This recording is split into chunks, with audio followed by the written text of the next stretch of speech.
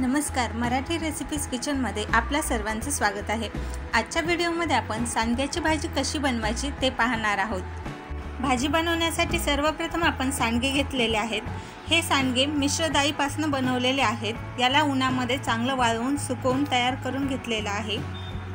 तर हा वडा एका पॅनमध्ये थोडंसं तेल टाकून थोडा लालसर होईपर्यंत परतून घ्यायचा आहे.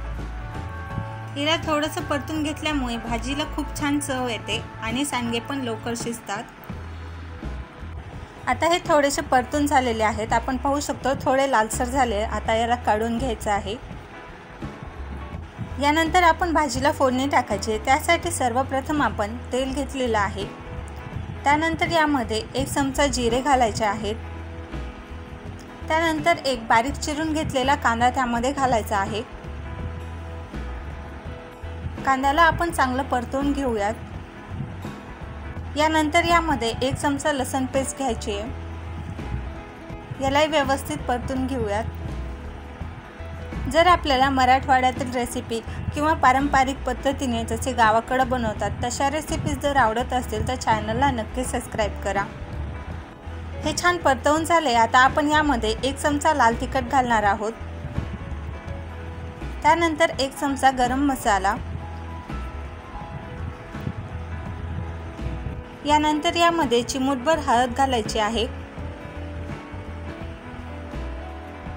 याला आपण व्यवस्थित परतवून घेऊयात. आता आपण जी वड्याच्या भाजीला लागणारी फोडणी आहे ती तयार करून घेत आहोत. आपल्याला जेवढी भाजी बनवायची त्यानुसार पाणी आपण यामध्ये घ्यायचं आहे. यानंतर यामध्ये चवीनुसार मीठ घालायचं आहे. थोडीशी कोथिंबीर त्यामध्ये टाकायची आहे.